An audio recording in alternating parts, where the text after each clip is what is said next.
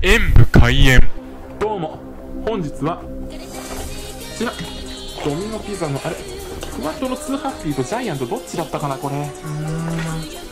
注文した時は覚えてないんだけど。まあいいや。どっちでも。おっとあこれジャイアントの方ですね。というわけでジャイアントを食べたいと思います。いろんな種類ありますね。うんこれは前だったら炭火焼きかなではいただきますまた会えたね。安定の美味しさだね、君は。続きましてはこちら。うんギガミートとドミノの、うんピザの名前を称したピザどっちだのだろう。ま食べてみればいいかな。いただきます。君はちょっと主張が弱いかな。続きましてはこちら。確かにマヨジャガだったかな、うん、上の方に乗っている焼き色が香ばしくて美味しそうですね。ではいただきます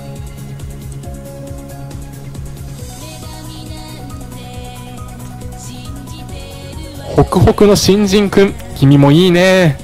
そしてラストがうんギガミートかドミノピザの名前の入ってるピザのもう一つの方こちらはなんかピーマンみたいなのがあってこっちが名前の方なのかなではまあとりあえずはいただきます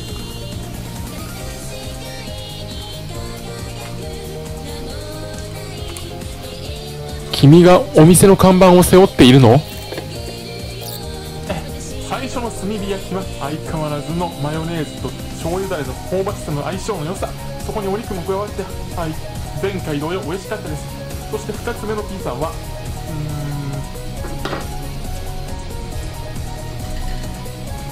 ちょっとお肉の主張が弱かったような気もしますね。だけどしっかりお肉を食べたいという方にはいいかもしれません。あのなんか矛盾した感想ですね。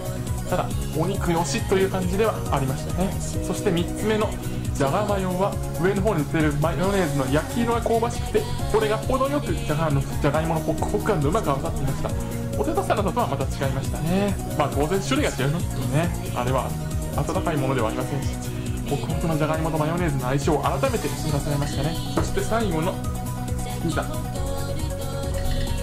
あれはお肉だけでなくピーマンの風味もちゃんと感じることができてでも苦くはなかったです。なのでいわゆるピザに乗っているピーマンといった感じでとっても美味しくいただくことができました。あっさりしていましたしね。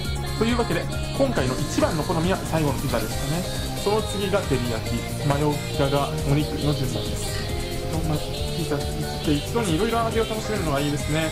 もちろん一つを極めたいっていう人もいるのでしょうが。生ビール私こそ今飲みたいのピザをお供にではご視聴ありがとうございました。コメントしていただけると嬉しい。です演武永遠パソコンおよびスマートフォンのアプリの方はクリックをお願いします。